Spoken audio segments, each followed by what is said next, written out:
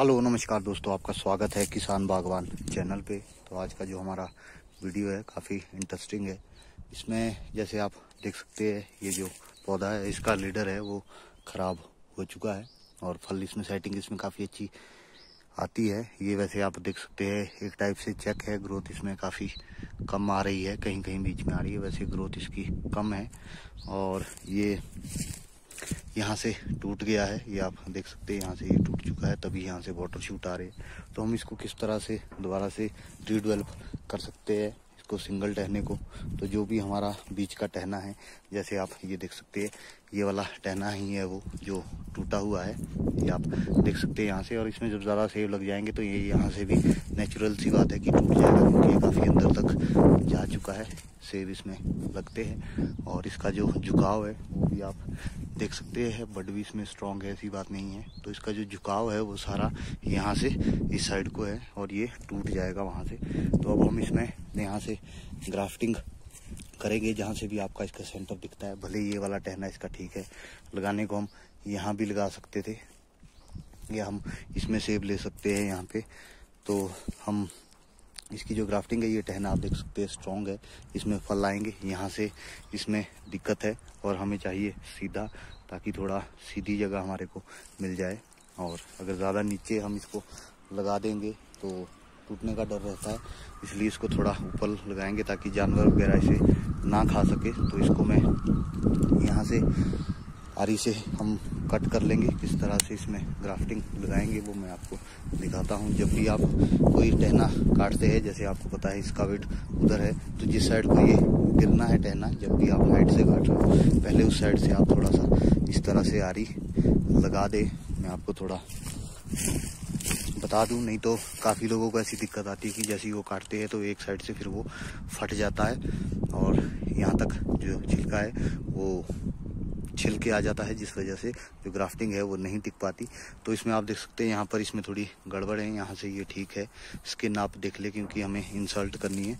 तो जिस, यहाँ से मैं इसे इंसल्ट करूँगा, इस साइड से, यहाँ से मैंने इसे इंसल्ट करना है। तो इसका जो वेट है, वो इस साइड को है। तो हम इसमें पहले थोड़ा सा कट यहाँ से लगा देंगे, इस तरह से आरी से।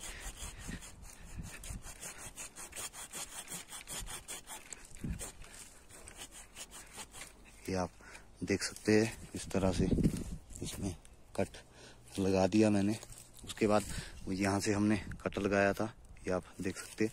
तो यहीं दूसरी जगह से भी हम इसको देख लेंगे कहाँ से कटा है, यहीं से ही कटा रहा है। तो अब हम इसे काटेंगे। तो ये जो टहना है, ये दोस्तों, ये देख सकते हैं आप, ये कट हो चुका है। इसमें जो ये थोड़ा आपको यहाँ दिख रहा होगा, ये जो इस तरह से थोड़ा ये होते हैं।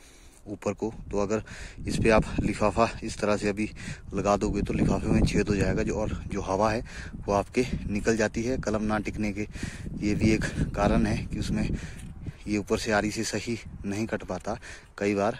तो इसको आप थोड़ा चाकू से इस तरह से साफ़ इसको हल्का फुल्का आप कर ले। तो आप देख सकते हैं, ये हो चुका है। उसके बाद इसकी जो आइज़ है, वो थोड़ी बहुत ही निकाल दे यहाँ से, क्योंकि यहाँ से ये थोड़ा जब इसमें कट किया है तो यहाँ से इसमें थोड़ा बहुत वाटर शूट जो है, वो आएँगे। इसलिए उनको आने के से पहले ही हम थोड़ा यहाँ से रोक देंगे। तो ये अब साफ़ हो गया है। अब हम इसे यहाँ से, यहाँ आप देख सकते हैं, इसकी जो स्किन है, वो बिल्कुल साफ़ सुथरी है। तो यहाँ से मैं इसे और मुझे चाहिए भी यहीं से टहना ऊपर तो मैं इसे इस तरह से, आप देख सकते हैं, हम इसे कट कर लेंगे।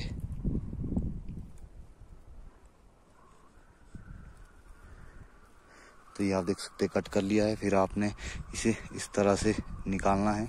यहाँ आप देखें, इस तरह से जो इसकी स्किन है, वो थोड़ी आप ऐसे उठा सी दे, अगर आपको दिख रहा होगा, इस तरह से जो स्किन है इसकी, वो उठ जाती है। यहाँ आप देख सकते हैं जो स्किन है इसकी, वो थोड़ी बहुत ही उठ चुकी है। ये इस तरह से यहाँ देख सकते हैं दोस्तों, ये यहाँ, ये रॉयल की स्टिक है। मोटी कलम है तो थोड़ी जो स्टिक है, वो भी थोड़ी हम जानदार लेंगे, क्योंकि धूप की वजह से कई बार अगर जो मोटी कलम होती है, वो सूखने में थोड़ा टाइम उसमें लेट लगता है और टिक जाती है ग्रोथ भी उसमें ज़्यादा होती है। पर ये जो टिकानी होती है, ये थोड़ी मुश्किल होती है और इस तरह से जब भी कभी आप अपना पेड़ काटे तो तभी काटे अगर आपको गारंटी है कि आपकी जो कलम है, वो टिकेगी। या किसी से आप करवा ले तो किस तरह से हम इसे बनाएँगे, वो मैं आपको दिखाता हूँ इसमें। ये देख सकते आप, इस तरह से पहले इसमें थोड़ा सा हम कट दे देंगे, फिर इसे इस तरह से निकालेंगे। चाकू को आप इस तरह से थोड़ा ऐसा करें, आगे पीछे, नीचे को नहीं फाड़े, नहीं तो जो आपका हाथ कटने का चांस भी रहता है और ये सही से नहीं कट पाता। तो यहाँ तक मैंने इसे इस तरह से, फिर मैं इसे थोड़ा इस तरह से प्रेस कर लेंगे और जो बीच में इसमें ये आ जाते हैं, इसको यहाँ से हम फिर अंदर को इस तरह से एक बार थोड़ा इस तरह से हिलाएँगे और इसे निकाल देंगे। तो ये हमारा यहाँ से बन चुकी है। उसके बाद फिर इसे बनाएँगे हम जितनी वहाँ पर हमने डालनी है। तो जो उसमें साइड है, वो ये वाली साइड बाहर मिलेगी तो ये वाली साइड हमें पतली करनी पड़ेगी इस तरह से। पतली कर ली है मैंने, उसके बाद मैं थोड़ा इसे यहाँ से निकाल दूँगा इस तरह से। ये आप देख सकते हैं, ये निकाल दी है, यहाँ से ये बन चुकी है। फिर इसमें जो आइज़ है, वो आप तीन आइज़ तो आपको रखनी ही चाहिए, चार भी आप रख सकते हैं। अगर आपने बीमा लेना है तो आप चार रखे, पाँच भी रख सकते हैं। अगर आपने इसमें ग्रोथ लेनी है अभी तो आप इसमें तीन ही आइज़ ज़्यादा से ज़्यादा रखे। तो मैं इसमें सिर्फ़ तीन ही आइज़ रखूँगा और ये आप देख सकते हैं आइज़ के थोड़ा इतना ऊपर से आप इसे काटे। फिर अब मैं आपको दिखाता हूँ किस तरह से हम इसे लगाएँगे वहाँ पर। तो ये आप देख सकते हैं दोस्तों, ये इस तरह से है। फिर इसको यहाँ पर हम इस तरह से इंसल्ट करेंगे, ये आप देख सकते हैं। वहाँ तक आपको इसको, इसके साथ मिलाना है। जहाँ तक ये जो बैक वाला कट होता है, उतना आपको इसको मिलाना है। और आगे से भी आपको वहीं तक इसको छिल के लाना है, जहाँ तक ये आया है। तो आप देख सकते हैं, ये जो कलम है, ये डेफिनेट टिकेगी। मैं आपको इसको ज़रूर दिखाऊँगा। जब भी 15-20 दिन बाद इसमें स्प्राउट होगी, इसकी ग्रोथ भी आपको दिखाएँगे। तो इस तरह से आप देख सकते हैं, ये हो गया है ज़्यादा बाहर। तो इसको भी मैं यहाँ से थोड़ा कट कर दूँगा। तो अगर आप चाकू से कट नहीं कर सकते तो आप देखें इसको जैसे यहाँ तक ये पहुँचेगा। तो मैंने इसे यहाँ से कट कर दिया है, इस तरह से।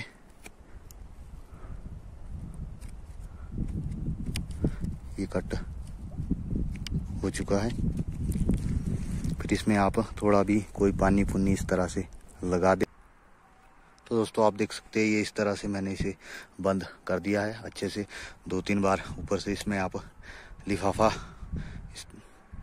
एक बार इधर को लाए, एक बार यहाँ से इधर ले जाए। तो दो तीन बार आपने इस तरह से ऊपर लिफाफा डालना है और जो इसका गर्दन है, वो ज़रूर बंद करें आप, क्योंकि यहाँ से हवा चली जाती है। आपसे हर आदमी इस इतने अच्छे से फिट नहीं कर पाता कि वो ऊपर इसका गला इसी तरह एक ही बार में बंद कर ले तो आप इसमें दो, एक राउंड मतलब एक पूरा गोला इसमें आप लगा के फिर इसे अच्छे से यहाँ पर इस तरह से लगा लें और ये आप देख सकते हैं इसकी यहाँ से ऊपर जाएगी।